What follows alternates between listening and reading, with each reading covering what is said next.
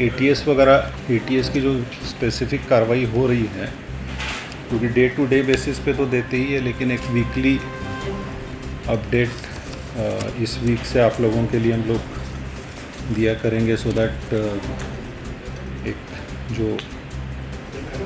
पूरे एक सप्ताह भर में क्या कार्रवाई हुई है, उसका भी एक अपडेट रहेगा।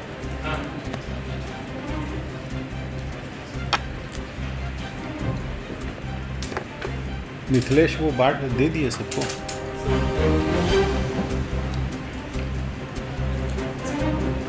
झारखंड सरकार के निर्देश पर और पुलिस महानिदेशक महोदय के निर्देश और मार्गदर्शन में और नेतृत्व में झारखंड में जो संगठित आपराधिक गिरोह कार्यरत है, उनके विरुद्ध विशेष रूप से सख्त से सख्त कार्रवाई करने के लिए झारखंड एटीएस और सीआईडी को विशेष रूप से इसका टास्क दिया गया है। और झारखंड पुलिस मुख्यालय के द्वारा इस पूरे अभियान की मॉनिटरिंग हाईएस्ट लेवल पे इसकी मॉनिटरिंग की जा रही है। जैसा कि आप लोग जानते हैं कि कुछ दिनों पूर्व भी जो अभी तक जो कार्रवाई हुई है और ख़ासकर संगठित आपराधिक गिरोहों के विरुद्ध जो अपेक्षित कार्रवाई है ताकि इन गिरोहों की एक्टिविटीज़ पर पूर्ण रूप से रोक लगाई जा सके तथा इनके जो भी सदस्य हैं, उन पर कड़ी से कड़ी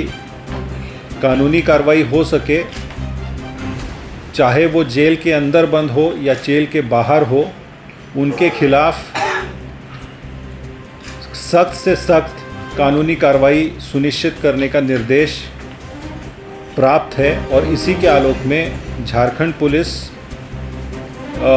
विशेषकर झारखंड एटीएस और सीआईडी के द्वारा संयुक्त रूप से इस कार्य को किया जा रहा है। पुलिस महानिदेशक महोदय के निर्देशानुसार झारखंड एटीएस और सीआईडी के द्वारा इस कार्य को करने हेतु झारखंड में कार्यरत सभी जो जो ये संगठित आपराधिक गिरोह है, उनकी पूर्ण रूप से सूची बनाई गई तथा उनके जो समर्थक हैं, उनके जो आश्रयदाता है, उनके जो आर्थिक स्रोत हैं, उनको आइडेंटिफाई किया गया और इस विशेष अभियान को 16 सात 2023 से प्रारंभ किया गया। आज जो आपको मैं अपडेट देने जा रहा हूँ, वो 16 सात 23 से लेके 24 सात 23 तक एटीएस और सीआईडी के द्वारा जो संयुक्त रूप से इन गिरोहों के खिलाफ कार्रवाई की गई है, उसी का लेखा जोखा है। इसमें मुख्य रूप से जो आपराधिक गिरोह जिनको टारगेट करके ये कार्रवाई की जा रही है, वो अमन साहू गिरोह है, अमन सिंह गिरोह है, अमन श्रीवास्तव है, प्रिंस खान है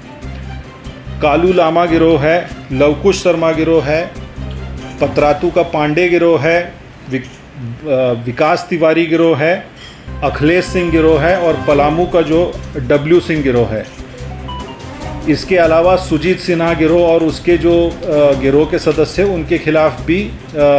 ये कार्रवाई की जा रही है। इसमें प्रारंभिक चरण में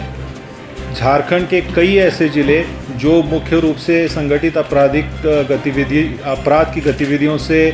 ग्रसित रहे हैं, जैसे कि रांची, धनबाद, रामगढ़ पलामू, चतरा, बोकारो और लातेहार में लगभग 109 जगहों पर जो है एटीएस की टीम के द्वारा छापामारी अभियान चलाया गया, छापामारी की गई है। और लगभग इसमें 80 लोग, जो गिरोह के सदस्यों को जो चिन्हित किया गया था, इसमें से लगभग 80 लोगों का सत्यापन किया गया है। और 45 लगभग लोगों को जो संदिग्ध, जिनकी गतिविधि पाई गई है, उनको हिरासत में लेके उनसे पूछताछ की गई है। 36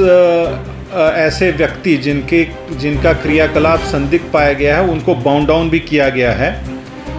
साथ ही साथ 10 ऐसे अपराध कर्मी थे जो कई वर्षों से या कई कांडों में वांछित थे और फिरार चल रहे थे। वैसे सक्रिय अपराध कर्मियों की गिरफ्तारी एटीएस के द्वारा इस पीरियड में, इस सात दिनों के पीरियड में की गई है, जिसमें मुख्य रूप से जो पिछले सप्ताह भर जब से ये कार्रवाई शुरू हुई है, जो घटनाक्रम, जैसा कि आप लोग जानते हैं कि 17 तारीख को 17 सात 2023 को जब एटीएस की टीम छापामारी हेतु रामगढ़ ज़िले में पतरातू थाने में छापामारी कर रही थी तो उसी क्रम में एटीएस के पुलिस उपाधीक्षक नीरज कुमार और उनकी टीम के ही सब इंस्पेक्टर सोनू कुमार जो है, अपराधियों के साथ मुठभेड़ के क्रम में घायल हुए थे। और उनका इलाज जो है रांची में चल रहा है। तो उसी सत्रह तारीख से ही जो है, इन गिरोहों को जो चिन्हित करके कार्रवाई की गई है, उसमें जो बड़का गाँव थाना कांड संख्या एक सौ छप्पन बाई तेईस है, जिसमें कि ऋत्विक कंपनी के पदाधिकारी की हत्या की गई थी, और साथ साथ अरगोड़ा थाना क्षेत्र में भी जो फायरिंग हुई थी, उसमें जो अमन साहू गिरोह का जो कुख्यात अपराधकर्मी चंदन साव जो शार्प शूटर था वो वांछित था, फिरार था और कई दिनों से पुलिस उसको तलाश रही थी। उसी दिन जो है, शार्प शूटर जो चंदन साहब है, उसकी गिरफ्तारी एटीएस के एटीएस के टीम के द्वारा उर्माजी थाना क्षेत्र से की गई है। साथ साथ उसके वारिश अंसारी, इसको रामगढ़ के पतरातू थाने से गिरफ़्तार किया गया और सोनू कुमार को उर्माजी थाना क्षेत्र से गिरफ़्तार किया गया। ये सारे ही अमन साहू गिरोह के सदस्य रहे हैं। इनके पास से हथियार, गोली इत्यादि भी बरामद की गई है। ये जो हथियार बरामद किए गए हैं, ये वही हथियार है जिनका इस्तेमाल इन आपराधिक घटनाओं को अंजाम देने के लिए अमन साहू गिरोह के द्वारा किया गया था। उन्हीं हथियारों की गिरफ्तारी जो है, बरामदगी जो है इनकी निशानदेही पर हुई है। इसके साथ साथ जो घटना हुई थी जिसमें पुलिस उपाधीक्षक और हमारे सब इंस्पेक्टर जिसमें घायल हुए थे, उस कांड का जो मुख्य अभियुक्त था बॉबी साव, उर्फ़ सिद्धार्थ साव। सिद्धार्थ कुमार, ये इसको भी 19 तारीख को रामगढ़ और लोहरदगा पुलिस के सहयोग से एटीएस के द्वारा भंडरा थाना लोहरदगा से गिरफ़्तार किया गया है। और इसकी निशानदेही पर इसका जो साथी है राजन कुमार उसको पतरातू थाना से गिरफ़्तार किया गया है। सिद्धार्थ कुमार उर्फ़ बॉबी जो है, ये अरगोड़ा थाना क्षेत्र में और रामगढ़ के पतरातू थाना क्षेत्र में जो आपराधिक घटनाएँ हुई थी, उन घटनाओं में ये शामिल था, सक्रिय अपराधकर्मी था और अमन साहू गिरोह के लिए कार्य कर रहा था। अपने राज्य से जुड़ी हर ताज़ा खबरों के लिए आप हमें सब्सक्राइब करें, साथ ही बेल आइकन बटन दबाना ना भूलें।